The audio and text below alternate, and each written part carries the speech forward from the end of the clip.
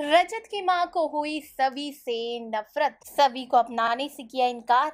दोस्तों सीरियल गुम है किसी के प्यार में आ रहे हैं। ढेर सारे ट्विस्ट जहाँ तारा की हालत बहुत ज़्यादा खराब है जिगर के जेल में जाने से। यहाँ पर तारा की माँ बहुत ज़्यादा परेशान है। तारा की इस हालत को देखकर और रजत पर तारा की माँ का गुस्सा फूट पड़ता है और रजत पर रजत की माँ का गुस्सा फूट पड़ता है और वो कहती है कि सब तेरी वजह से हुआ है।